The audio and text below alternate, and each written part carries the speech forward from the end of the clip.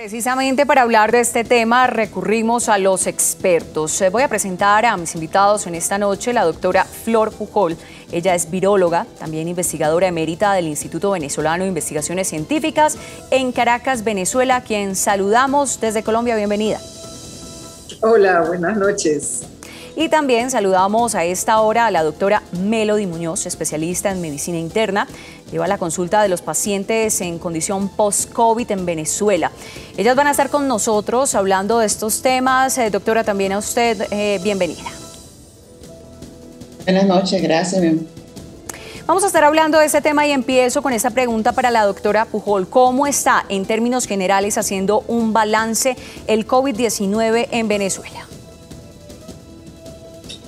Bueno, estamos, eh, venimos en, una, una, ola sostenida donde a pesar de estar en, un número significativo de casos, se han podido apreciar algunos picos que corresponden probablemente con eh, la circulación de variantes. Primero la variante gamma a principios, hacia marzo, abril, y ya para junio, julio, eh, empieza a transmitirse la variante Delta, lo cual cada vez genera un, pico, pues cada vez que alguna de estas variantes empieza a circular más profusamente, pues eh, ha venido acompañado con un pico de casos en, reportados. Pues.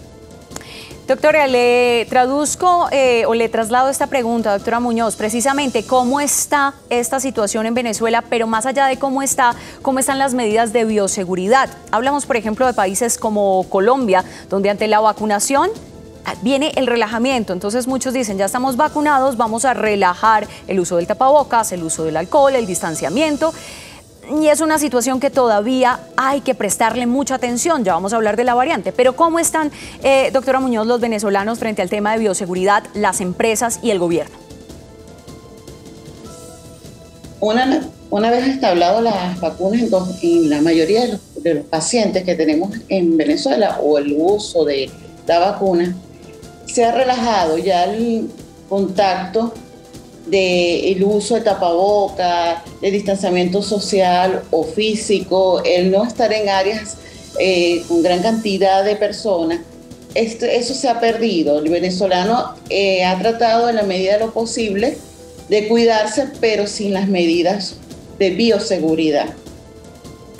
Hablando sobre la llegada de esta nueva variante, ¿qué consideran ustedes? ¿Está preparada Venezuela para la llegada de esta nueva variante, para hacerle frente? Tenemos claro que todavía no se conoce mucho eh, de este tema. Apenas el 24 de noviembre eh, en Sudáfrica apareció un paciente, están a la espera de cómo desarrolla los síntomas. Sí han tenido, por ejemplo, en los Estados Unidos el llevar cuarentena a los que ya lo presentan, pero Venezuela, ¿cómo está preparada frente a este tema, doctora Pujol?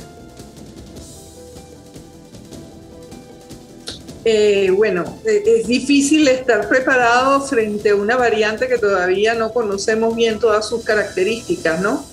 Y, por ahora, eh, al parecer, podría tener una mayor transmisibilidad, pero esa aparente alta tasa de contagio también podría ser debida a, a un cierto grado de evasión de la respuesta inmunitaria, ¿no? Eso no quiere decir que las vacunas no funcionen, todavía no sabemos si, cuánto se puede haber reducido la efectividad frente a, esta nueva variante. Entonces es un poco difícil también eh, prepararse en términos de, digamos, de, preparación sanitaria. Con respecto a su detección, bueno, la vigilancia genómica que se realiza en Venezuela está en capacidad de detectar a la variante Omicron y eh, se está pensando en implementar también algún tipo de métodos rápidos, así como el diagnóstico molecular, etcétera, para eh, eh, reforzar un poco esta vigilancia genómica. Doctora Muñoz, ¿usted cree que está preparado Venezuela, que está preparado todo el sistema de salud, los ciudadanos para hacerle frente a la llegada de esta nueva variante? y la posibilidad, que es la pregunta que todos nos hacemos en todo el mundo, de volver al principio, de encerrarnos nuevamente. ¿Qué tan viable ve usted esa situación? si estamos preparados o no, diríamos que estoy de acuerdo con la doctora Pujol, no estamos todavía preparados. Es difícil determinar hasta dónde vamos a llegar con esta nueva cepa, porque la información es muy reciente. Lo que sí es importante mantener la educación en, en todo el personal, en todas las personas, eh, en cada uno de los venezolanos, hacer hincapié de los equipos de bioseguridad. El personal médico sí se encuentra en capacidad para poder apoyar y detectar en la primera llegada de algún caso que se pueda determinar. Eh, siempre he tomado de la mano con el grupo de, de laboratorio, bioanalistas, eh, cada uno de los síntomas, estar pendiente de cada eh, razón o motivo de consulta que llegue cada persona a su centro de salud. No solamente tildarnos en que el, cuadro viral respiratorio sintomático común que veníamos nosotros acostumbrados a ver, sino que ahorita se presenta con unas pequeñas variedades de sintomatología como son los dolores musculares y fatiga que no lo estaban acusando el paciente en una primera instancia. Hay un tema que desde el principio de toda esta historia eh, pues sabíamos y es que ante la llegada de una vacuna el aislamiento era la única solución que teníamos. En muchos países el tema de la vacunación ha recibido contradictores quienes dicen, bueno, yo no estoy de acuerdo en vacunarme, no estamos de acuerdo con esta medida. ¿Qué tanto ha sido la aceptación de los venezolanos al tema de la vacunación? Según cifras recientes, y lo veíamos al inicio de esta emisión, 78% de los venezolanos dicen ya están vacunados, pero no tenemos claro si ese 78% tiene dosis completa o es simplemente parte de las primeras dosis. Han iniciado el proceso. Inicio, doctora, con, doctora Pujol, con usted. sí, este, em, otra, otras encuestas han mostrado una gran disparidad en función de la edad. Eh, las personas adultas mayores de 50 años parecen tener eh, ya una mayor cobertura eh, de vacunación que las personas jóvenes. Yo no diría que en Venezuela hay movimientos fuertes antivacunas, sí, pero sí hay temor en la población ante lo nuevo, se habla tanto que quizás también se genera un poco de temor. Y eh, yo creo que en la población joven hay un poco el concepto de que esta enfermedad afecta más a las personas mayores, y, no, no tanto a los jóvenes. Entonces, creo que hay una gran labor de una necesidad de concientizar la importancia de que se vacunen los jóvenes, primero porque pueden no estar exentos de una evolución más grave y segundo como, una, como un acto de responsabilidad para cortar las cadenas de transmisión y evitar que surjan nuevas variantes, ¿no? Y quizás una de, de las mejores eh, eh, estrategias de prevención frente a, la, presencia de esta variante Omicron sea justamente retomar con más fuerza que se han relajado todas las medidas de prevención y, e invitar a la población que todavía no se ha vacunado a irse a vacunar. Los centros de vacunación están vacíos, así que hay que aprovechar que hay, todavía hay vacunas en el país para este, que la Omicron sea un estímulo para que la gente más bien vaya a vacunarse prontamente. Le quiero preguntar, gracias doctora Bujol, le quiero preguntar, doctora Muñoz, usted ha trabajado con pacientes en condición post-COVID en Venezuela. ¿Cómo es el tema de ellos eh, eh, después de haber pasado por esta situación ante la llegada de las vacunas? Y en términos generales, ¿cuáles son las principales secuelas que ha dejado el COVID en estas personas? ¿Secuelas permanentes, transitorias? ¿Cómo ha sido también este proceso de los pacientes post-COVID?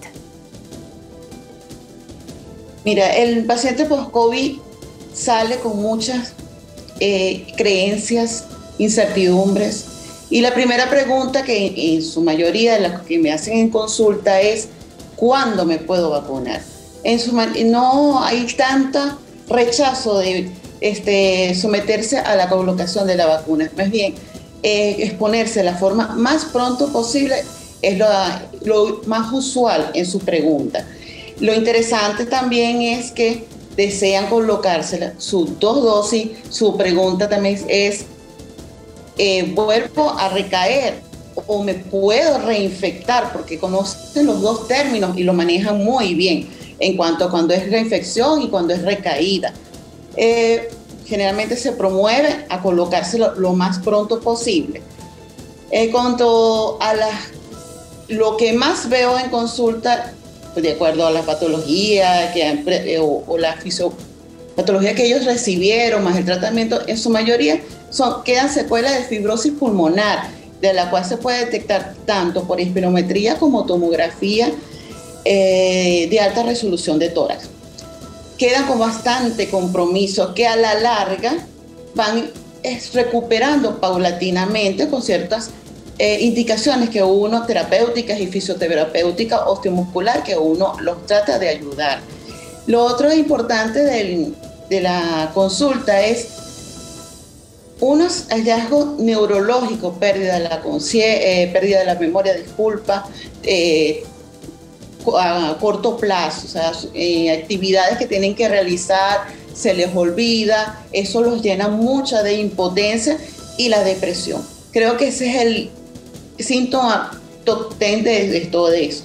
Es un paciente que se deprimido, dependiente emocionalmente de cualquier afecto posible.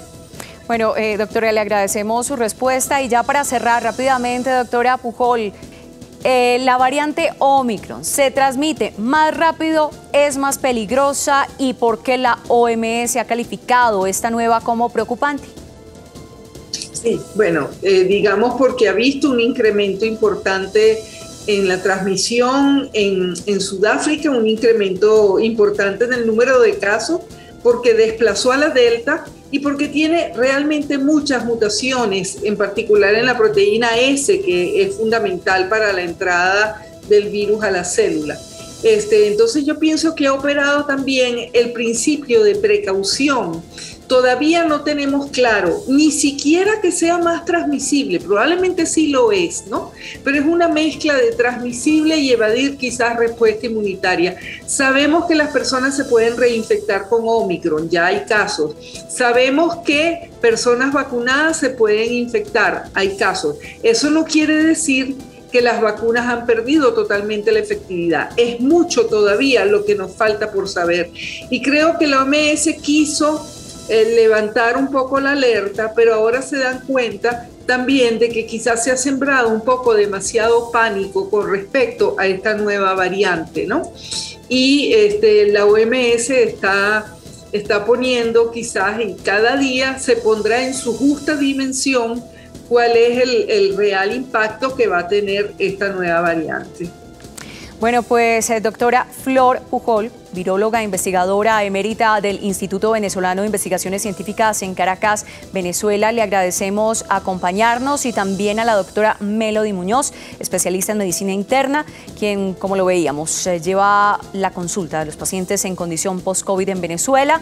Muchísimas gracias por sus conocimientos y vamos a estar muy pendientes, seguramente en próximas conexiones estaremos hablando de nuevo con ustedes para que nos den luces de lo que se viene, porque ante lo desconocido solo quedan las preguntas antes que el miedo. Gracias. Gracias. Gracias, buenas noches.